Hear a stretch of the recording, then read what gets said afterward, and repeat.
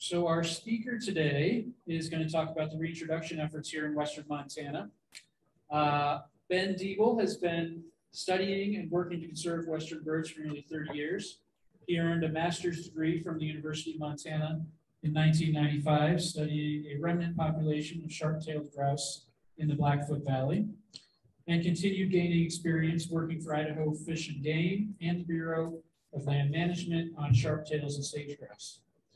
He went on to work for over a decade with the National Wildlife Federation from Missoula, leading their sage grouse conservation program on the west side, and eventually moving the project to Montana.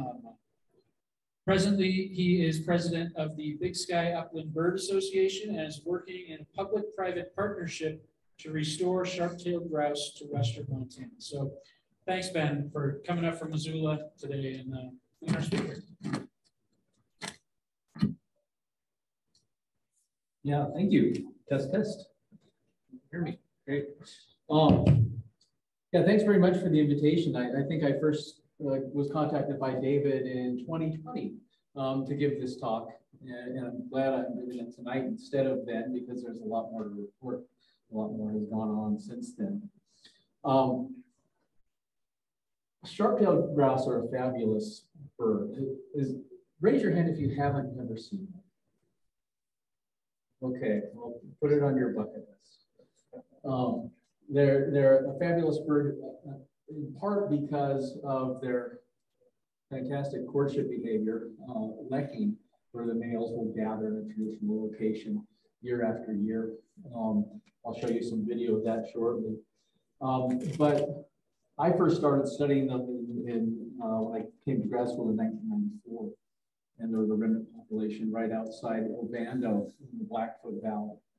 Um, there has also been a population up on the Tobacco Plains where there was a lot of work done historically to try and conserve that population, but it, it eventually was lost. Um, Lewis Young was one of the principals in that effort. and I think he's probably listening in tonight. Um, and uh, he's been invaluable um, to this new phase of the effort to try and restore the birds of Western Montana. So um, without any further introduction, I'll just jump into this. Um, I built this slideshow to be an, an hour long show and we might have time to get it all in plus some Q&A from you guys.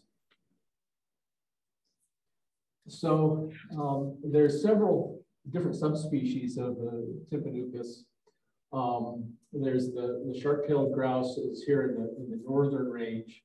And then there's prairie chicken showing on this map down in, in, the southern range. Um, there's five different subspecies of sharp-tailed grouse, um, the Alaskan, the Columbian, the plains, and the northern. Montana is right on the boundary um, between the Columbian um, and uh, the plains sharp-tailed grouse here's the historic and present range in Montana. Um, we've lost them from, we've lost them from this part of their range. Um, they're still quite frequent and abundant in the rest of the state. Historically, um, most of the work on conserving sharp-tailed grouse was focused on the Columbian subspecies because it's the one that was defined the most um, here you can see the historic range in green and then just these little remnants left in yellow. Uh, the National Bison Range uh, attempted to establish the bird between 1973 and 1980. Um, that effort was unsuccessful. There was the Tobacco Plains effort that I mentioned, where there were 140 birds moved um, into that area to try and sustain the population and it was extirpated around 2000. And then there's the Blackfoot Valley population that I studied that also winked out right around 2000. There were some um, anecdotal reports of small numbers of sharp tails from a couple of the ranches in the Blackfoot after 2000, up to about 2003. But the last time I saw the birds was in 2000. Sorry, that's me. Okay. Go ahead. Okay. Here is the last endemic sharp tail in the Blackfoot Valley. Um, that's me holding one in holding that bird in 2000. Um, we don't know what happened to that bird or that handsome young man. So why did Western Montana sharp-tailed grouse decline? Um, this is the often, the most frequently asked question, and um, we'll probably never know, but there's some strong theories. Habitat degradation and, and fragmentation, particularly due to conifer tree expansion, which resulted from fire suppression. We know that a lot of Montana, and Western Montana is no exception, was frequently burned by the native peoples. And historically, this created a lot more grassland as opposed to forest in Western Montana. And as the tribes land management practice of burning um, phased out and Forest Service fighting forest fires phased in, uh, we've had a lot more evergreen green tree encroachment into the valley bottoms. And also the uh, passes that connected the central Montana prairies to the western Montana prairies. Um, so as these habitats decline, the populations got smaller. And at that point, stochastic events more than likely kicked in. Those are things like bad weather patterns, cold, wet springs, deep, deep snow years. Um, we then ended up with this pipe population isolation because the mountain passes had filled in with trees. And our birds on the west side were no longer connected to the central and eastern Montana meta population. And at that point, we think fertility issues might have kicked in, essentially inbreeding fertility, where small isolated populations, sharp-tails typically will lay eight eggs in a clutch, uh, potentially only six of those eggs hatched or five of those eggs hatched. And that's all it took to tip the population into a downward spiral.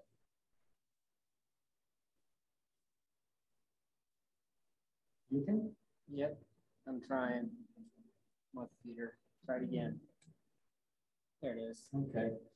Um, there's been some good scientific work done on inbreeding depression in um, prairie grouse, um, in particular in prairie chickens.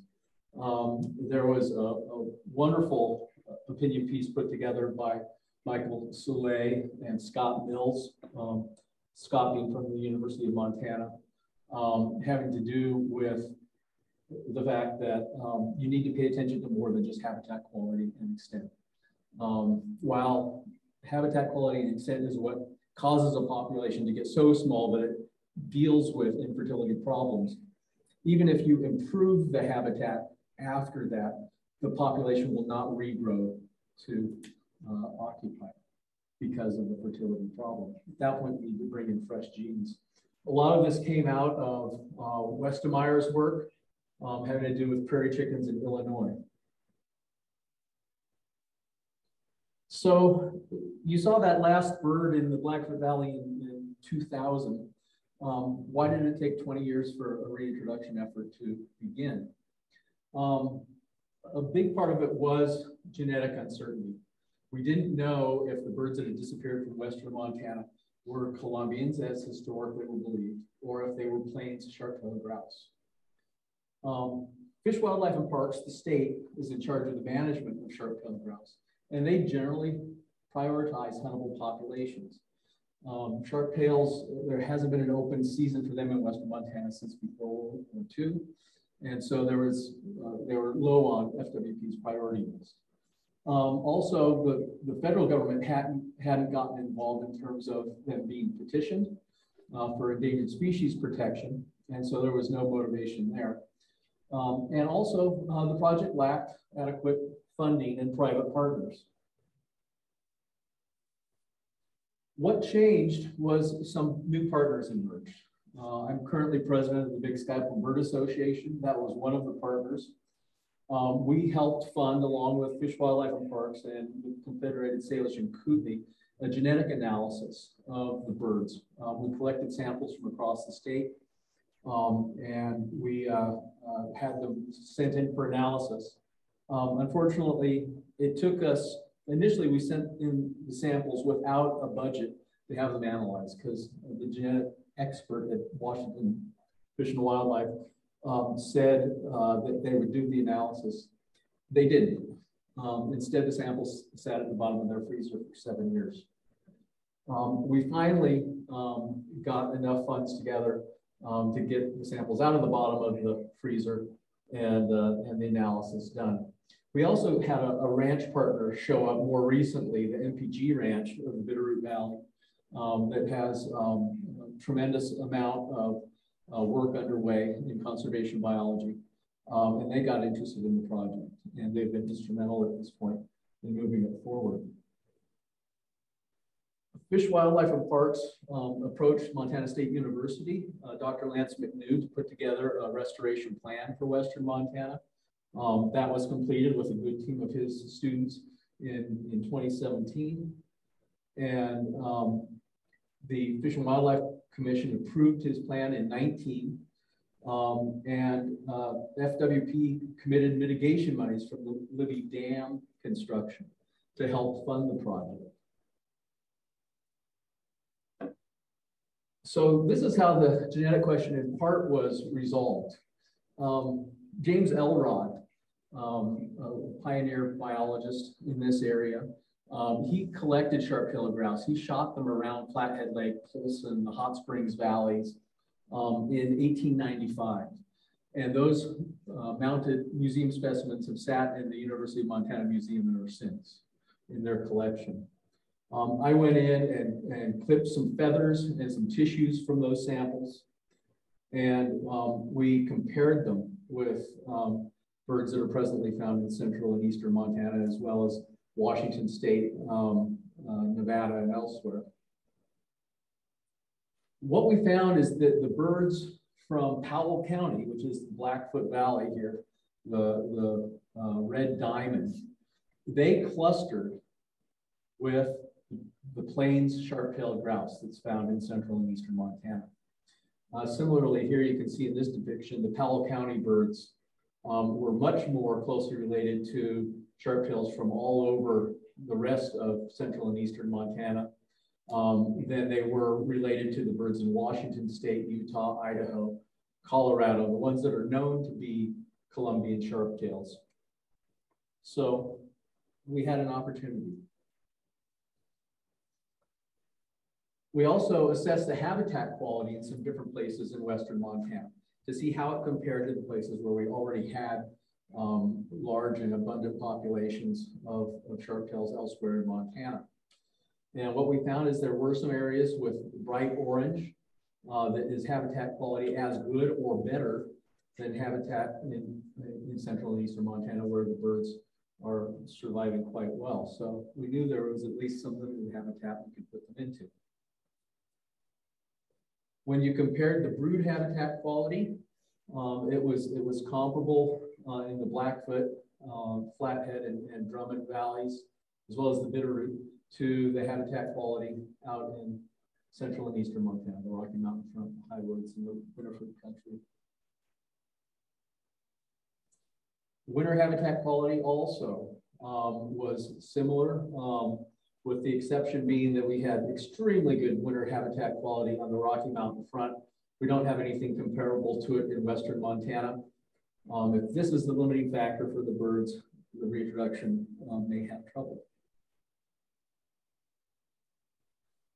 I mentioned that MSU had put together a plan. Um, it's about 130 pages in length, lots of detail, lots of very useful information. Um, they did um, some simulations of uh, uh, what different population sizes and habitat quality does to affect the persistence of populations. And um, they found that there were some scenarios. This one up here in red is, is a scenario where the population could very well, the reproduced population could very well last 50 years, um, which is this axis here, this is years going on. The probability of extinction, um, they went through a bunch of different scenarios.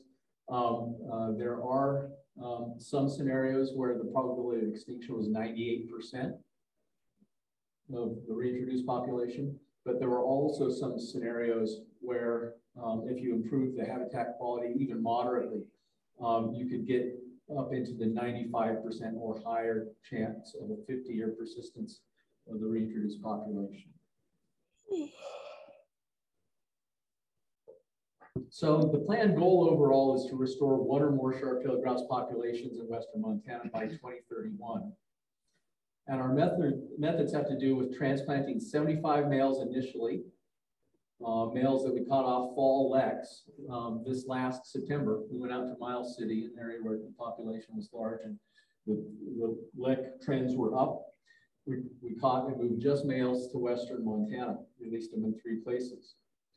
What we're going to do subsequently is move 180 birds every spring um, to join those 75 males or what's surviving of them. Um, we put those males out with radios on each one of them so that we know where they aggregate potentially next spring into leks. And if we, particularly where we find leks aggregating in our western Montana valleys, is where we will put the next 180 birds. Um, the other uh, important part to our methods is we believe that we'll need to enhance habitats. If we can get um, basically a beachhead established of these populations, um, and we understand the areas that they're using, we'll then try and enhance those habitats in ways um, that reduce the stressors on the birds. We also will need to assess into the future the need for genetic rescue. We may still have populations that are too small to be genetically diverse 10 or 20 years out, and we'll need to bring additional birds in uh, to supplement the heterozygosity of those populations. The Big Sky Upland Bird Association, where I'm president, is an association of upland bird hunters. Um, but we're committed to this project, not necessarily believing um, that we'll ever have a huntable population again in Western Montana. It's not really our objective. Um, we're interested in this because it's um, at this point, I believe, and I checked with Jeff Marks on this, who um, Dan knows pretty well. Um, we believe that sharp-tailed grouse are the only bird that historically bred in Western Montana that today is absent. With the restoration of breeding populations of trumpeter swans and sandhill cranes, and maybe a few others, uh, sharp-tails are the only one that's missing. And so our organization is committed to bringing them back for that reason alone. So a huntable population isn't the goal, but it may be a byproduct. So uh, I mentioned leks at the beginning of the talk. So what is a lek? Um, a lot of people know, especially people like you, that birds sometimes breed in leks. But uh, did you know there's several species of fish and insects that also um, use leks? Um, a lek is where multiple males gather repeatedly to compete for breeding opportunities with visiting females. But there's also leks of mayflies on the east shore of Flathead Lake in the, in the summertime. Um, there's leks of some other types of fish where the males gather and display and females come in to pick a mate from the best looking one. I'll give you 30 seconds of um, lek video if we can get that to play. We'll give it a whirl here. I'll just talk through this. Um, see if you can pick out the females in the, in the video here. This is a, a male that's displayed with multiple other males in the background. I don't know if we can get any audio. Um, there we go.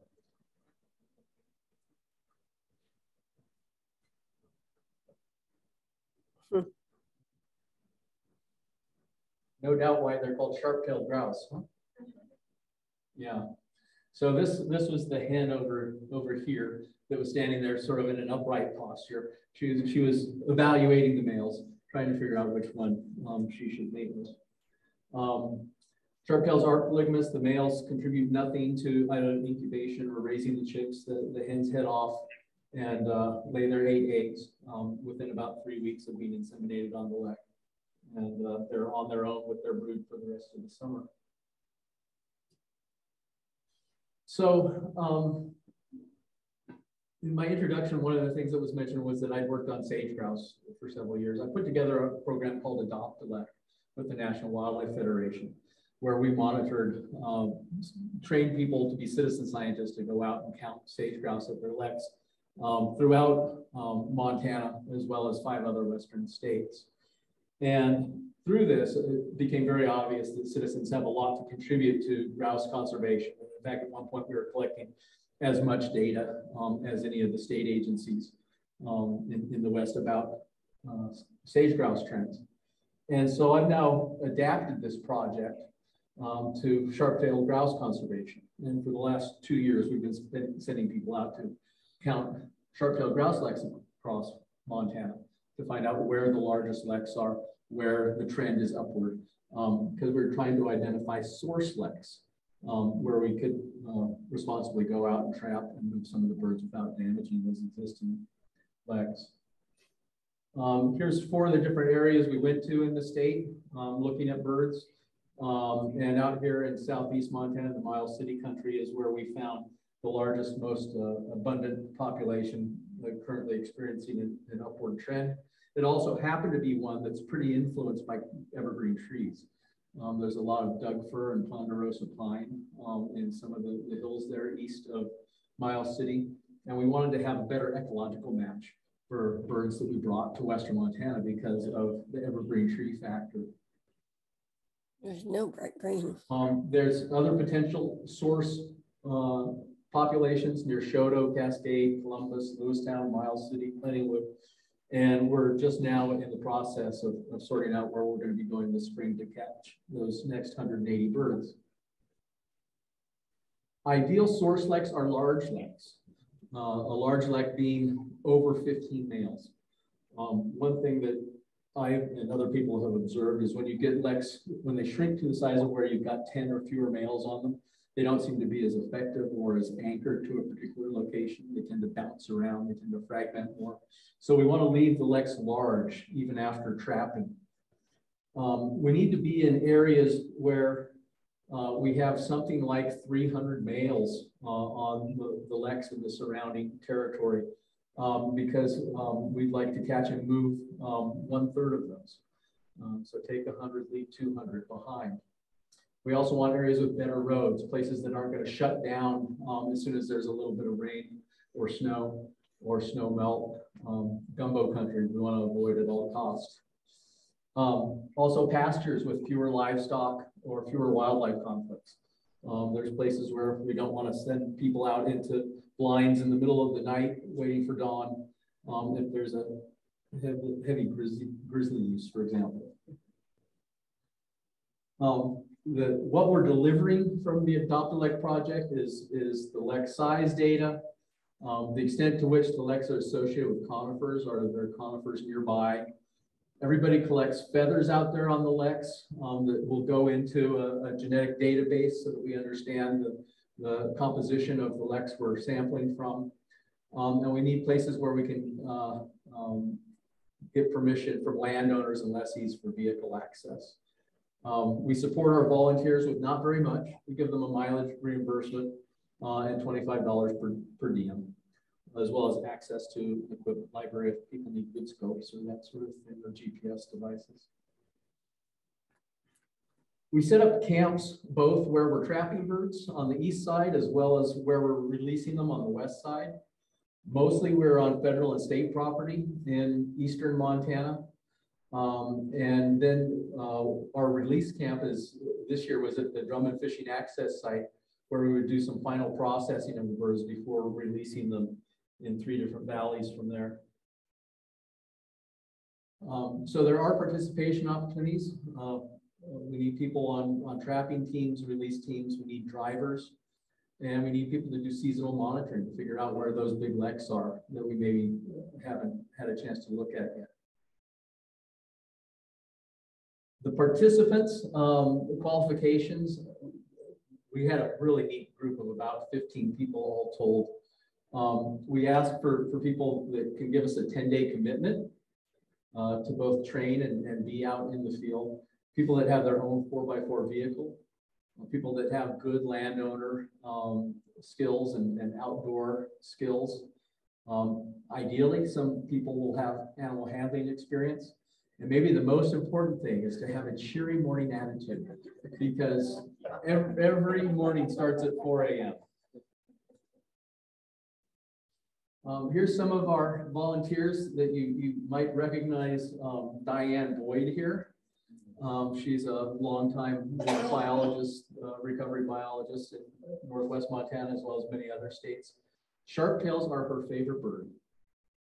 Um, she also, with her uh, pointing dog, she has a German Wirehair, might um, shoot as many sharp tails as, as any um, woman in the state. She's a very avid hunter of them, um, but wants to keep them alive and expand their population as well. Um, so we've had both uh, active and, and retired natural resource uh, agency people, bird watchers, upland bird hunters, college students and instructors. Some landowners even jump in and, and help out with, with the project, both on the central and, and uh, west side, um, as well as other non-governmental organizations. We also would like to see potentially the Confederated Salish and Kootenai join this effort at some point. Um, they did help with the genetic analysis funding. Um, they did do some analysis with a, a, scientist by the name of Don Cantizano about 15 years ago of the quality of their habitats. Um, they have interest from their cultural committee um, because there's stories of um, sharp tails that they used to, to um, catch uh, on lakes near Polson. Um, and some of their dances, they have the chicken dance, which imitates sharp tail very clearly. Um, so it's a culturally important bird, and maybe the tribes will join us at some point. So you may be wondering, how do you catch sharp tails? Well, um, we, basically we use a walk-in trap. This is a little bit hard to see, but this is this is a passageway that's created into a dead-end um, square screen box. Um, and what this is, is essentially, it sort of looks like a crab trap. If any of you have ever caught crab or, or shrimp out in the ocean, uh, instead of putting a, a, crab trap on the bottom of the ocean, we're putting a bird trap on the top of the prairie. And sharp tails come to dance on this lek. You can see how the vegetation in this traditional lek location, that isn't vegetation that we've cut or trampled down. It was a lot shorter than the surrounding vegetation. And sharp-tails will select sites like this to have their traditional leks on. Um, males would come in at dawn to attempt to dance in the middle of the lek. And on the way, as they were walking in, they would get intercepted by these wire fences and they would be guided into a pot, uh, dead end cage that they um, then would not be able to find their way out of. Um, we'd be sitting nearby in blinds and jump out and net them out of these pots. Does it disturb the leks? Yes. Um, we, but we, we established as a standard, we wanted to be on a particular lek no more than three days. And then we would go away um, for a week at least, and sometimes not come back at all. Uh, but, but sometimes we would come back a week later. But even on day one, um, these birds would, would come in and land right on top of the pots if it was in, in their way. Um, we didn't really see a dramatic change in behavior. Um, they, they actively uh, displayed with each other. And we were in blinds nearby and would jump out as soon as we had spotted um, two or more birds uh, in the pots. Do we damage the source leks? Um, we hope not. And we're trying to take every precaution to not do so. Um, common leks sizes are 10 to 40 males. And like I mentioned earlier, we only target leks with more than 15 males. Um, we assume the leks have equal numbers of males and females, even though we think it's possible that there's substantially more females in the population. It might be two females to every male. Basically because life is riskier to be a male sharp-tailed grouse. Um, standing around on the on the same few yards of, of territory for up to 90 days a year um, is a risky behavior. Um, these leks tend to be predator magnets, and um, we see evidence of a lot of males being killed on leks by predators. Females don't have um, quite as much risk in their life. Um, our lek quota we established for each lek, and that was to take 30% and leave 70%. So our statewide trapping quota that the commission has given us is 180 birds a year. The background mortality rate of, of sharp-tailed adults seems to be about 40% a year, regardless of what's going on. Um, the annual Montana hunter harvest is between 15 and 25,000 sharp-tailed a year. So we're taking a, a fraction of one percent of the, the annual take from the population. As, as we trap the birds on the leks, what, what's next? Well, you, you quickly go out to these pots. You have a long handled net that you use um, to scoop the birds out of the, the wire cage. You put them into cotton bags, and then you put them in liquor boxes um, to transport them back to the processing camp.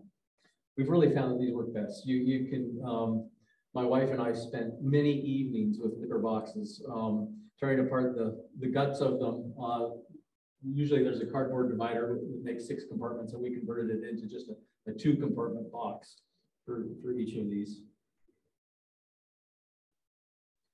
Then you take them back to the processing tent.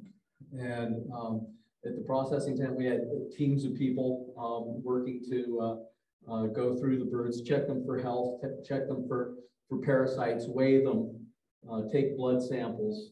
Um, this is all the equipment it took to process just a, a single bird.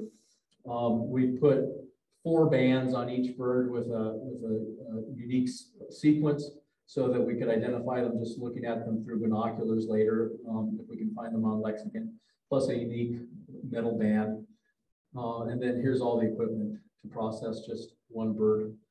And that doesn't even show the radios, which are here. Um, every bird we put a, an instrument on. Um, these are a, a, low tech, what's called a low tech transmitter. Um, it's a VHF transmitter that should have a battery life of about two years. Um, it's a line of sight transmitter, um, relatively low power. Um, we put those on, I think, what, 69 of the birds. And then on six of the birds, we put a, a satellite uh, GPS uh, transmitter. Um, this is almost a $3,000 device. Um, this is a $300 device. So just the equipment was um, quite an investment. Um, the transportation was an interesting thing. I was put in charge of, okay, how are we going to keep these birds in the best shape possible as we transport them almost 500 miles across the state?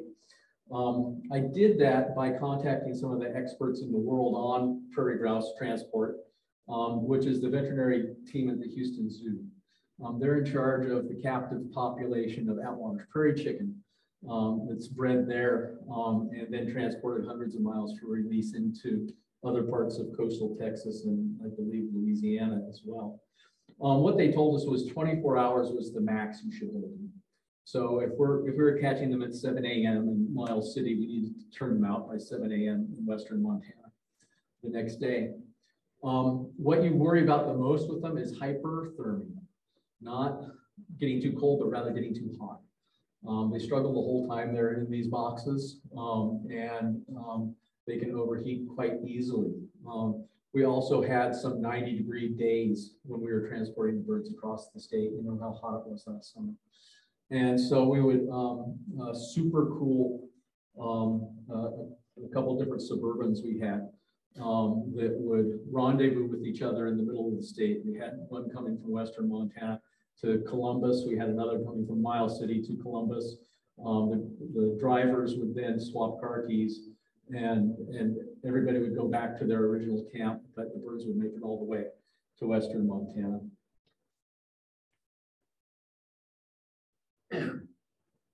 It's the transportation route.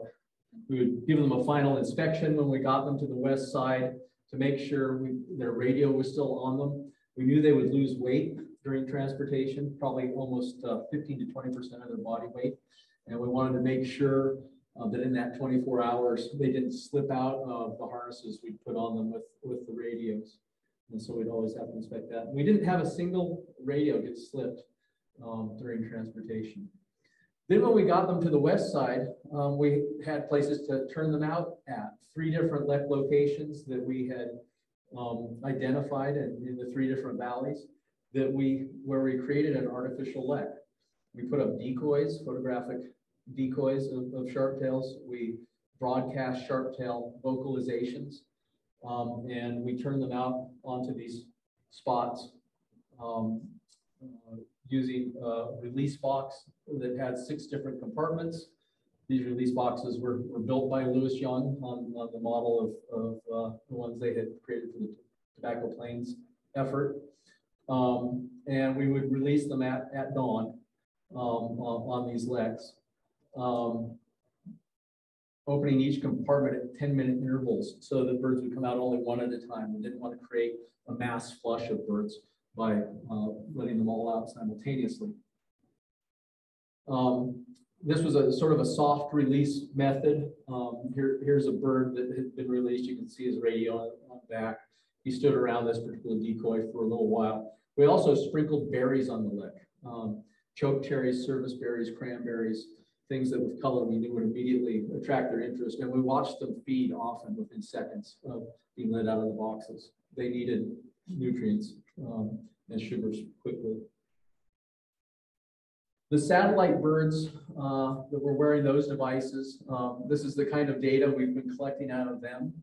Um, Dr. McNew from, from MSU has been shocked by how closely the birds have stayed in the places we've released them to. Um, none of them, as best as we know, has tried to fly back to Miles City yet. Um, we know there have been some mortalities, but we've also been pleased with uh, generally the survival rate this fall. Um, part of that maybe is because we had such a mild fall. Uh, we didn't really get snow on the ground until December, right? Um, but uh, the birds seem to be doing well. We know uh, we've confirmed seven mortalities out of the 75. Undoubtedly, there's some more birds that have been lost out there, but we haven't found their, their transmitters yet. This is how the, the Motus fixed antennas work.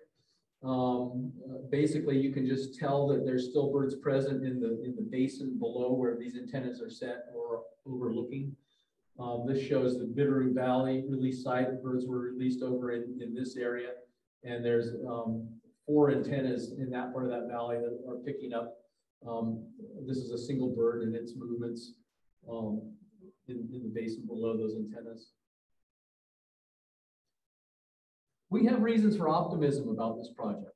Um, even though historically, maybe we shouldn't. There's been a lot of failures with efforts to try and introduce sharp-tailed grouse and prairie chickens for that matter. Part of it probably has to do with the fact that they need a, large landscape and a relatively large population to remain genetically viable. Um, part of it's probably also the social component of their behavior, the fact that they use leks traditionally that they need to return to year after year. Um, but uh, at the moment, we're optimistic about this one um, because we have um, some sharp-tailed grouse populations as sources that are near historic highs in central and eastern Montana. So we have a good place to go get birds. Um, there's a lot of no conversion easements on the landscapes that we're putting the birds into. So we think they're going to look like what they look like now for a long time. There are some areas with improved grassland and riparian management. Um, there's increased fire on the landscape, and that may actually be a good thing. As much as we hate having smoke in the summers in western Montana, it might ultimately be something that's good for sharp-tailed grouse. Also, sharp-tails will use created habitats, lands that have been logged, wheat fields, orchards, CRP grassland, unlike sage grouse which very much don't use created habitats, except for maybe the occasional edge of an alfalfa. They need old growth sagebrush and bunch grass and forbs, full stop. Whereas sharp-tails will use a lot of created habitats. We also now have new techniques for monitoring the genetic health of small populations. Some of it pioneered with sage grouse that's now being applied to, to sharp-tails that we think will be helpful. We also have groups like Audubon Society um, that has, in the case of sagebrush steppe and sage grouse conservation, established important bird areas for sage grouse in different parts of Montana. Um, one of the things about sage grouse conservation that will be an upside for sharp-tails um, is even though it's not the case in western Montana, in the rest of Montana, sharp-tails and sage grouse are sympatric.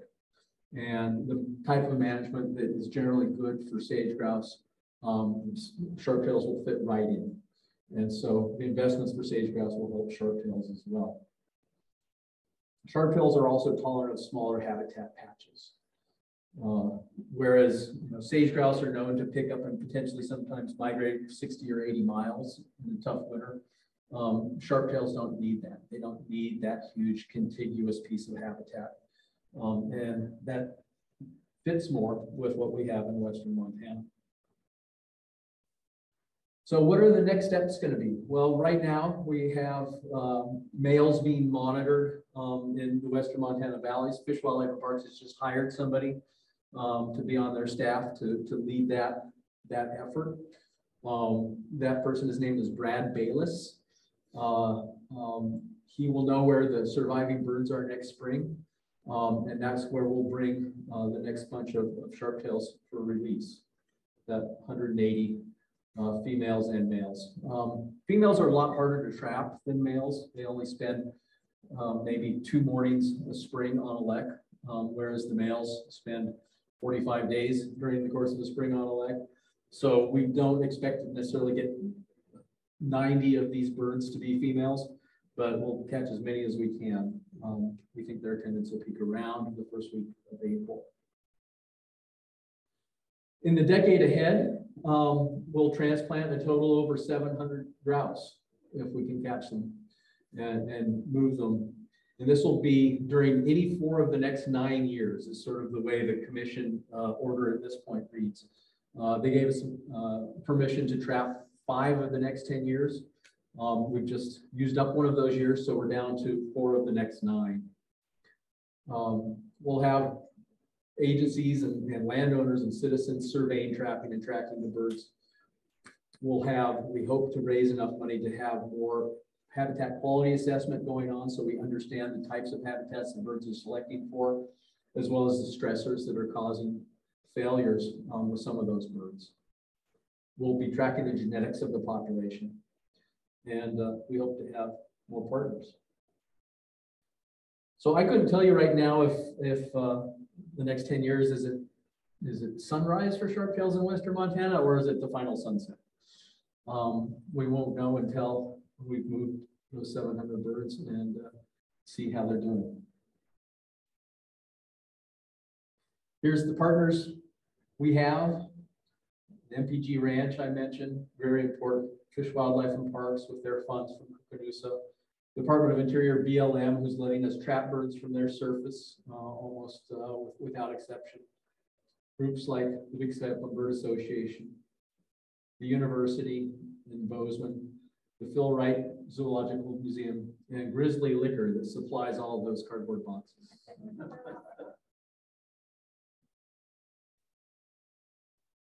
Here's some of the photos. I, I don't have photo credits for everybody.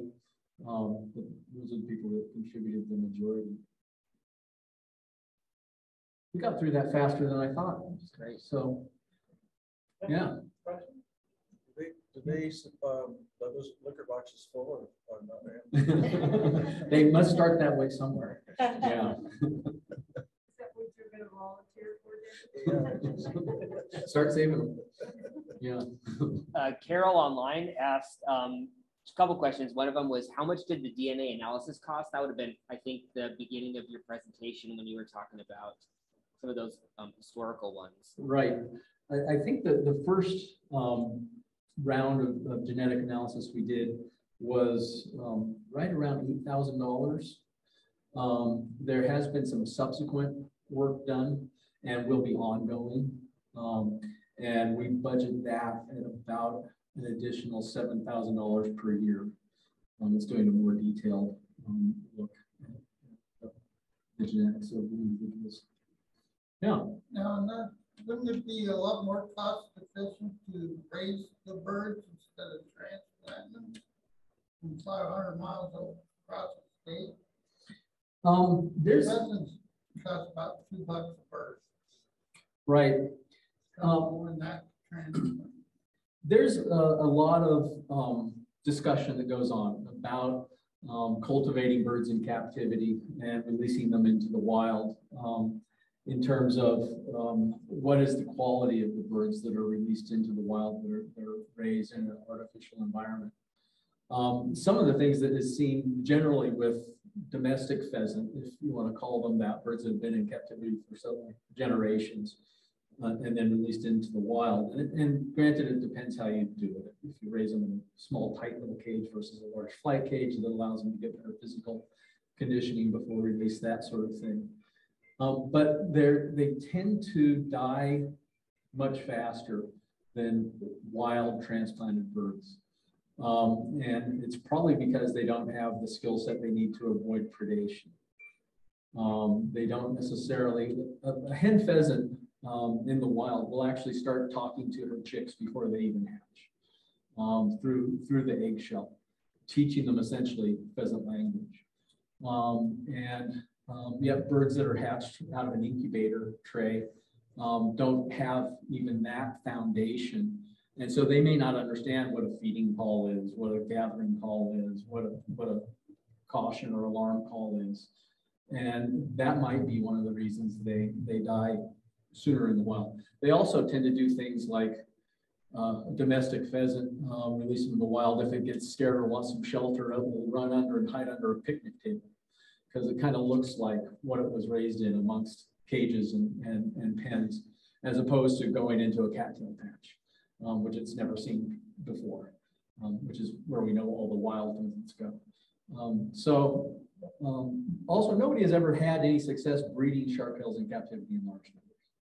I this pretty, I had, like the other states, like Nebraska, have a uh, sharp-tailed grouse reintroduction system where they'll pay for the chicks to raise them, and then they distribute them. Loose, Could you give me some information on that? I've never heard of it. okay? Yeah. Um,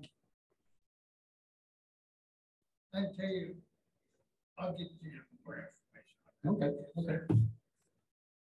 And Montana doesn't have any. Right. We, we, Montana has prided itself since the nineteen eighties in, in not breeding pheasants in captivity for release. Um, that has just changed, uh, with this administration. Um, decided to start releasing domestic pheasants. Um, again, mostly for the sport of children, um, that are learning to hunt. And, um, I personally would rather they spent the money on habitat improvement. Um, I think we can prove that we can grow a lot more pheasants sustainably by putting, by having good habitat on the ground than by putting pen raised birds into the wild. We have a couple more questions online. One of them is, um, can you explain how, why the birds lost so much weight in the transfer? Yeah, Stress or, you know, they, they tend to be very high strung. Um, they, they also, in the wild, uh, feed themselves probably hourly, um, as long as food's available. Um, and, uh, uh, you know, you put them through an awful lot of what they consider to be near-death experiences. Is they're, they're, they get handled four times in the process of, of being released in, in western Montana. Um, and, and so uh, they're bouncing around inside even a darkened box um, almost the entire time um, you're moving them. Um, and, it, and it's just simply very, very stressful. And, and uh, they needed calories immediately upon release. Um, one of the things I had asked the veterinary team about in Houston was, could the birds benefit at all from what's called um, provage? Is that it? Um, where you actually can tube feed them. Sometimes I, I actually used to work for a veterinarian that um, specialized in exotic birds, valuable macaws, cockatoos, things like that. And we frequently saved birds um, that were sick um, that had stopped feeding um, by putting uh, uh, high nutrient, high calorie meals into their crop by hand, um, pushing it in with a syringe and tube. And I asked them if, if there was a chance of that being helpful for transport. They said no. They were too concerned about these birds being so high strung and bouncing around in these boxes so much that they um, it, it, wouldn't necessarily be a benefit to them. There's actually a chance of them aspirating and getting pneumonias out of something like that. So we decided to, to, to back off and just have our number one priority be move them fast, get them back out on the ground within 24 hours. But yeah. Ben, I'm curious about the uh, artificial leks. Do you have access to any known or anecdotal locations that had been leks? We actually did. Of, of one of the three release locations was on the Manley Ranch right outside Helmville. Um, and that is the last um, lek active um, in the Blackfoot Valley that I researched. um, and actually caught birds off of and put some radios on to try and understand what was going on with them. Unfortunately, that lek was down to four birds, four males by the time um, I was funded to put some radios on them and winked out within a- a year after that. So we, we did have one historic lek location that we turned birds out onto. The, the, the imagery of the satellite tagged birds are actually birds moving off of, but staying very close to that historic lek. So we know it looks right to them. Is there That could any, Be a good area for 'em. What's that? That could be a good area for 'em. Yeah, yeah. Is there, uh, do you want or need any help from Flathead Audubon or our members? Gail's asking that online. Yeah, well, um, potentially, you know, I, I think we would probably like to visit with, uh, all of the Audubon chapters statewide and see who's interested. Um, one of the, the things that would be a great advantage, we have people like Lewis Young coming from as far away as, as Eureka, um, to participate. But it would also be wonderful to have some, um, Audubon members in central Montana that are already familiar with some of those leks, some of those landscapes, some of those landowners um, that could really facilitate us um, uh, having more source leks and more familiarity with, with source populations out there. Is this uh, traditionally Columbiana territory? Uh, west of the Continental Divide, um, Aldrich characterized the sharptails as being Columbian sharp-tailed grouse, right? And, and any advantages that, that birds from that population would have being here since they're historically well, uh, Aldrich was wrong. So, okay. Um, what, what our genetic analysis showed was that the birds from Yeah, just that part, from, from both the Flathead Valley and the Blackfoot Valley historically were more closely related to the plain sharp-tailed east of the divide than the I missed Columbians. that part.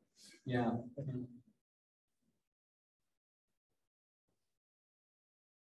All right, well, yeah, Ready plan to uh, try again to. uh, introduce them in Black Valley. um, at this time, I'm not aware of it. Um, I, I think there was a, a sense out of the, um, couple hundred birds they moved there. Um, that there just wasn't enough, um, intact habitat left. Um, in particular, not so much on the US side of, of, of the international border there, but, um, very much on the Canadian side, a tremendous amount of subdivision and home construction had occurred. Um, and they thought they had, had lost, um, the minimum amount of habitat they needed there.